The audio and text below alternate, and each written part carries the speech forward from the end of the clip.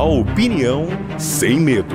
Cartacho e Ricardo com o chapéu na mão pedindo obras em Brasília. No fundo do chapéu, eleições 2016. Polêmica Paraíba. Todos em Brasília. Ricardo e Cartacho estão com o chapéu na mão, pedindo recursos, destravando projetos. Ricardo vai ter um encontro com Renan Calheiros para discutir a repactuação orçamentária, saúde, segurança, previdência e educação.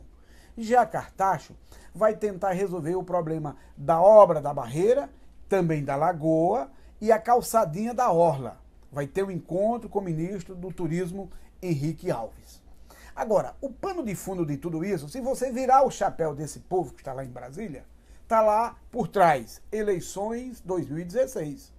Cartacho sabe que é importante ter todas essas obras planejadas e concluídas até o próximo ano, para garantir a sua reeleição. Já o governador está também tentando resolver a liberação de recursos, deixar a máquina mais azeitada para poder tocar mais obras. E a eleição de João Pessoa é o pano de fundo. Aí tem uma guerra fria estabelecida. Dilma vai continuar ajudando o Ricardo na medida que vem ajudando?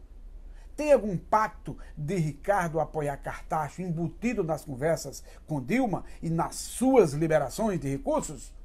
O futuro vai determinar. Agora, que eles estão agora travando uma guerra fria, trazendo recursos para João Pessoa e a Paraíba, de olho nas eleições de 2016, eu não tenho dúvida. Esta é uma boa briga, porque quem ganha é João Pessoa e a Paraíba. Pelo sim, pelo não, esta é a minha opinião.